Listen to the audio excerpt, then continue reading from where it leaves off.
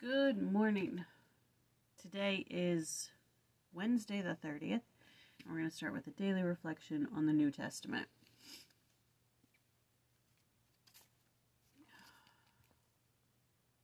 Pilate answered them, saying, Will ye that I release unto you the King of the Jews? For he knew that the chief priests had delivered him for envy. But the chief priests moved the people that they should rather release Barabbas unto them. Mark chapter 15, verses 9 through 11. The moment is filled with tragedy and dripping with irony. The people are about to put to death their long awaited Messiah and King.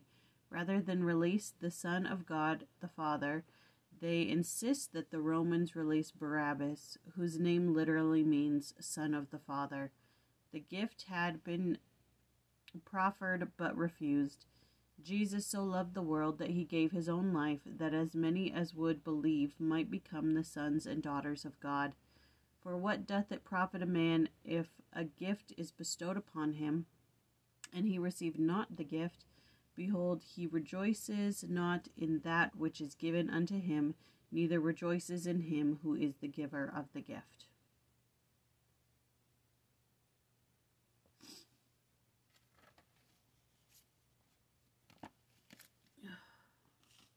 All right. So today is First Corinthians chapter 10.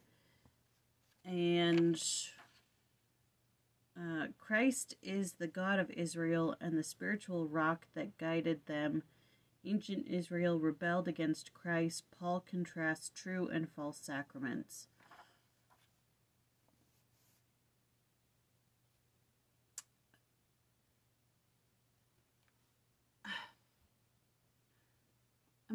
It's because I got interrupted a time or two, but I just I don't understand Paul. I just don't. Like the way he speaks, I just I don't know. Oh. I picked a scripture, but I didn't write my statement. Um anyways, the scripture I picked, I I could have picked a couple. If you take each verse by itself and not as a whole chapter, it's easier that way, but when you're reading it as a whole, as you're trying to get some sort of context for the verse that you just read by reading the next verse, I just get more and more confused as to what he's trying to say. I don't know. It's maybe it's me. Today's my day off, and I was supposed to sleep in, but my brain woke me up at six o'clock in the morning, and then Alex came down at six thirty, and there was no sleeping after that. So Anyways, my verse is chapter 10, verse 32 Give no offense neither to the Jews, nor to the Gentiles, nor to the church of God. And this, I chose this just because it's one that I could plainly and clearly understand, uh, stating that, you know, I must not give offense to anybody, whether they're in the church or out of the church whether I believe they deserve it or not.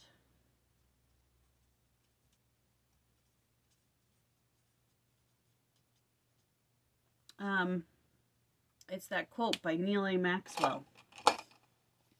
And even though it is true that there must be an opposition in all things, none of us has the personal obligation to provide that opposition. I love that quote. It's literally hanging up right there.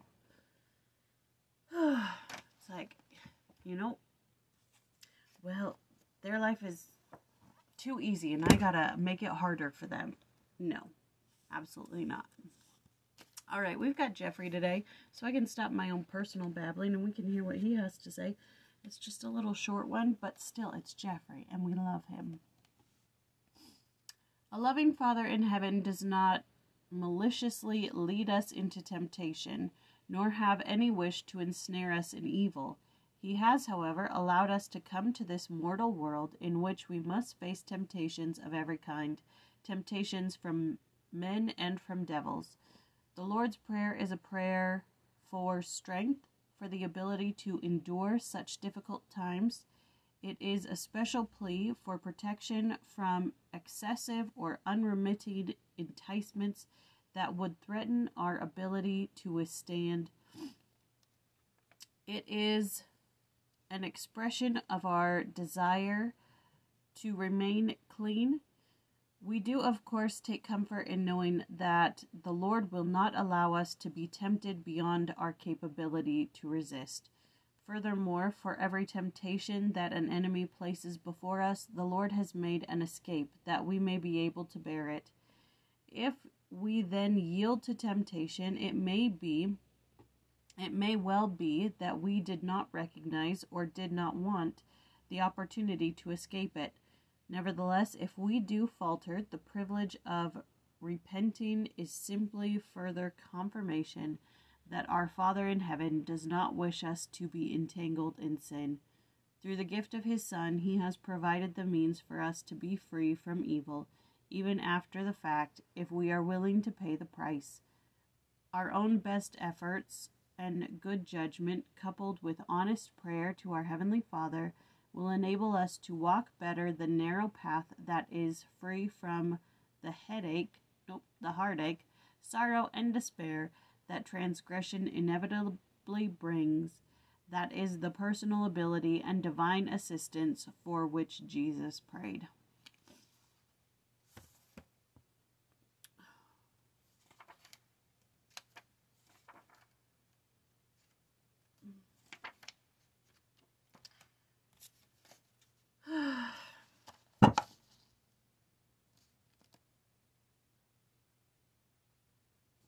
Sometimes I just have to sit sit in Jeffrey's words and take into account how they apply to my life or when I have seen them um, be fulfilled in my life. And not all the time can I express those into words and share with you guys, mainly because it takes a minute for me to process. Because I'm crazy like that. But, anyways, I'm going to leave you now with a prayer from a diary of prayer. It is the 30th. Tomorrow is the last day of August. Fall is just around the corner. This prayer, uh, there's, okay, this prayer is for uh, preservance, perseverance. There's no R in there, so I uh, we'll find out if I can read or pronounce words, which we all know I can't. And then the next one is, uh, which the first one is a Gelasian sacramentary, and then the other one is patience and long suffering, which is anonymous. O God, who hast willed that the gate of mercy should stand ever open to the faithful, mercifully bestow on us the grace of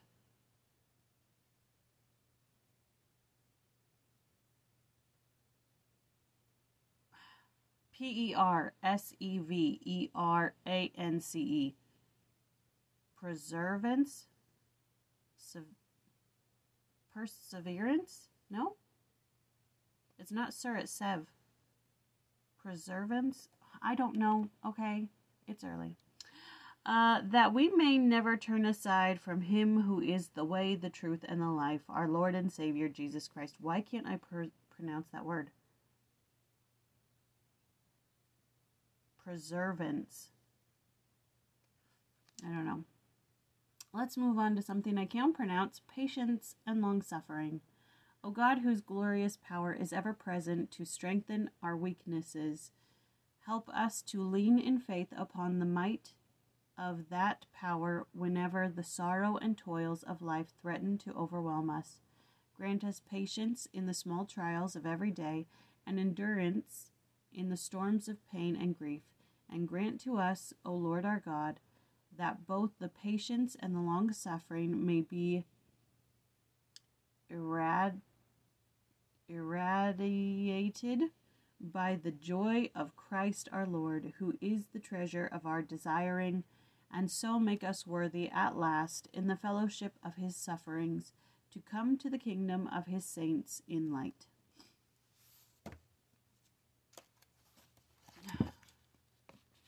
I struggled through that one. Oh, yeah. Okay. So that was First Corinthians chapter 10, and tomorrow we do chapter 11, verses 1 through 17. It's just the way it is, peeps. It's just the way it is. All right. That's all. I gotta get going. I don't want to. What are you gonna do? All right. I love you all. Have a great day. See you later.